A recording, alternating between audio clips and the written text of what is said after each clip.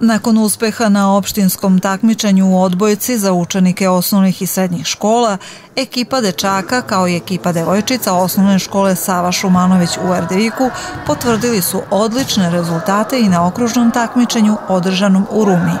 Devojčice su u jakoj konkurenciji osvojile treće mesto, dok su dečaci u finalu savladali ekipu Indije i plasirali se na međuokružno takmičenje – Na uspeh svojih učenika ponosan je direktor i nastavnici.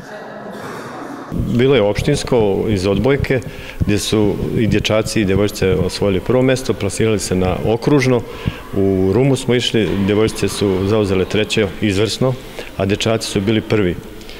To je ogroman e, uspeh za ovako malu školu sa ovolikim brojem đaka gdje mi u generaciji imamo 9-10 dečaka ili devojčica. Upravo zbog tog broja učenika mi od 5. do 8. svi učestvuju u selekciji i repstaciji škole. Prinuđeni smo da, da ih sve uključimo.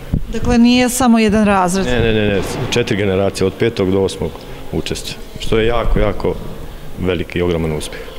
Veći broj ovih učenika odbojku trenira i van redovne nastave, što je doprinelo odličnom rezultatu.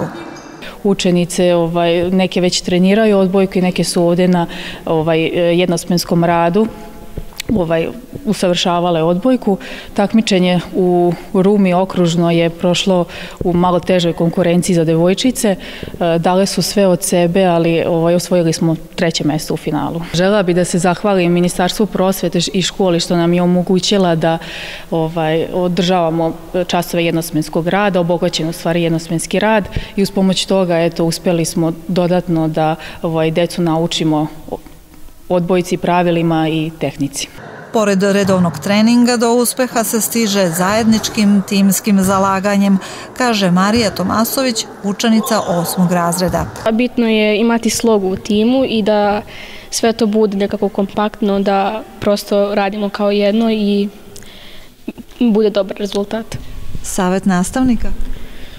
Pa, jeste naravno, to, to se prvo mora poštovati, da. Muška odbojkaška ekipa takođe je dala sve od sebe u želji za što boljim rezultatom.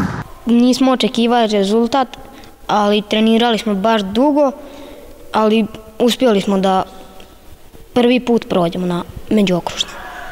I kakva je to bila reakcija vaša? Da li ste bili srećni i zadovoljni?